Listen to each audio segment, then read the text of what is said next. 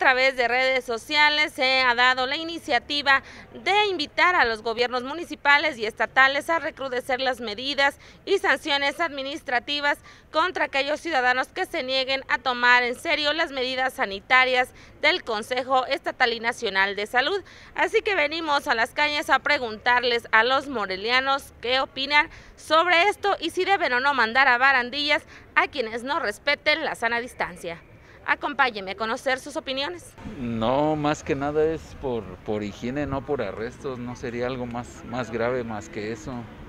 Pues únicamente es higiene y, y no tener contacto con las personas, únicamente eso.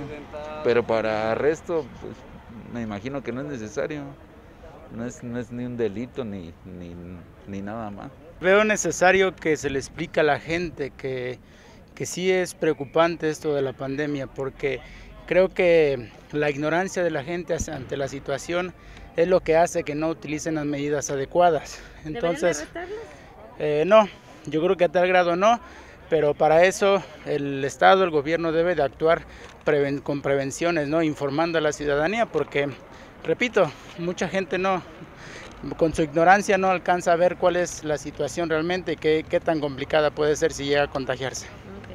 Yo creo que ahorita en este tiempo todos tenemos que cuidarnos, cuidar también a, la sociedad en sí, porque pues el coronavirus sabemos que no es un juego.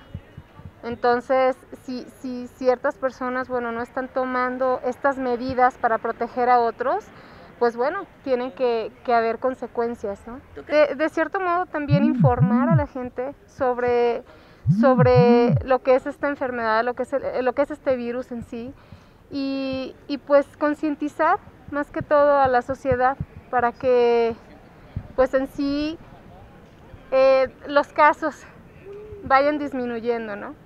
Mira, eh, aunque seamos escépticos, que en el caso mío no lo soy, eh, usar el cubrebocas se me hace una medida de respeto y de seguridad para todos.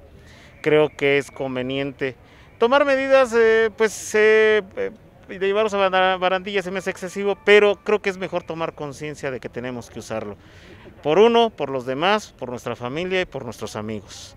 Entonces nuestra convivencia debe ser de ahora en adelante con el cubrebocas.